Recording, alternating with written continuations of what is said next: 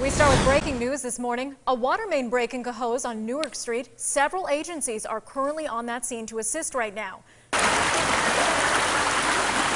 Public Works, National Grid, Red Cross, and the Cohoes Fire Department are all on scene. The split in that water main break pouring water onto Newark Street between Main and Remsen.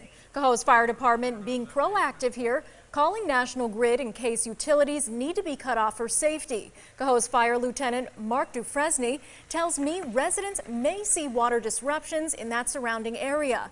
Everyone is safe. The Red Cross is there only for precaution in case anyone is displaced from lack of hot water.